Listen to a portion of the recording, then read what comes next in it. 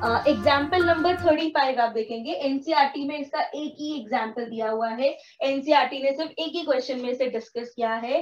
That is limit आपकी क्या है? पाई बाय सिक्स से pi by three D X upon में one plus root ten X ठीक है? ये आपकी प्रॉपर्टी है।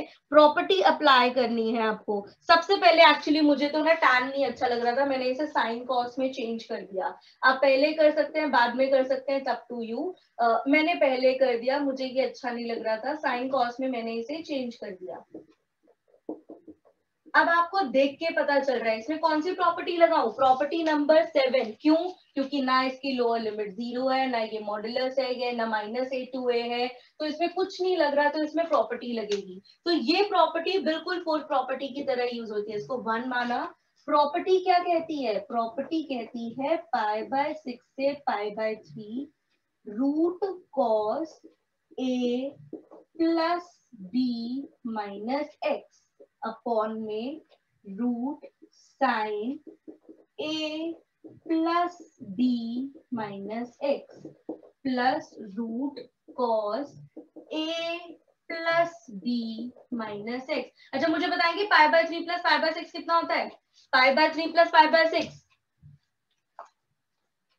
pi by three pi by six pi by two pi by two होता है दैट इज़ 90 डिग्री अच्छा pi by two minus X क्या हो जाएगा? Pi by two minus X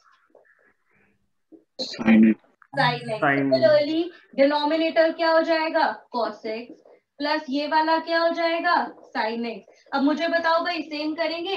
property apply करने से पहले और प्रॉपर्टी अप्लाई करने के बाद वाले को मुझे क्या करके फ़ायदा है? दोनों को हम ऐड कर देंगे। ऐड कर देंगे तो कैंसिल आउट हो जाएगा। मैंने थोड़े से स्टेप्स खा लिए हैं। फिर same upper limit minus lower limit two I is equal to two pi by six यही हो जाएगा। टू पाई बाय सिक्स नहीं only pi by six so I की value pi by twelve answer हाँ जी बच्चा क्लियर है? कैसे किया है? Property number